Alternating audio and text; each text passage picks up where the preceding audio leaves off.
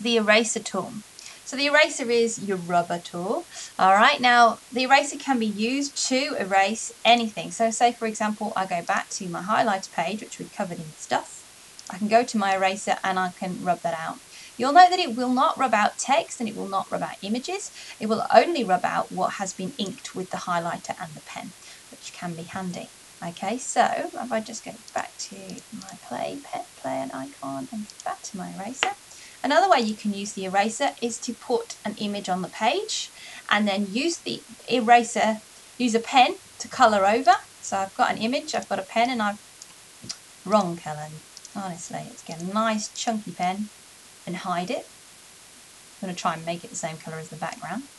But for the purposes of demonstration, I shan't today. Use your eraser. Ask your students to come up and tell you what they reckon the story is by just revealing parts of the situation. Obviously, it might have been more fun to have started in the left corner and said, well, what are all of these things? And then to develop the narrative until eventually they work out that we're in space in a spaceship. Um, it's quite interesting to see what they come up with and what they think all these things are. And it's a really nice way of um, introducing a topic just by using ink and an eraser. So there's a little tip, it's quite handy. Okay, the fill tool. The fill tool or bucket tool, because it looks a bit like a bucket of paint, will allow you to change the colour of, of, of objects on your page, including your background.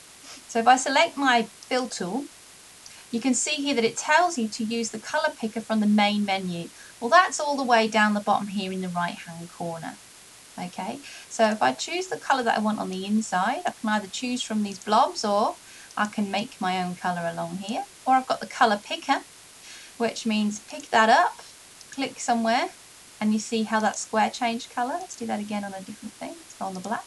Can you see how the colour picker works? Great if you want to use your football colours on the background of the page. Just paste in the icon and go from there. Okay and then on the outside here go with a bit of white Okay, so now I've got my bucket all ready to go. Let's uh, have a go. Can I use the fill colour? Can I use the fill tool to colour in the five times table? So five times table, pink and white. So you know how this works. We can make our number squares. Okay. Um, this number square, by the way, was generated by one of the widgets, so I didn't have to do any hard work there at all. I've also got an extension that asks me to pull this across.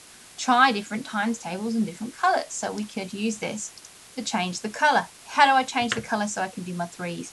Well, I come across into the bottom corner and I pick a different colour. And then, oh, dearie me. Undo quickly.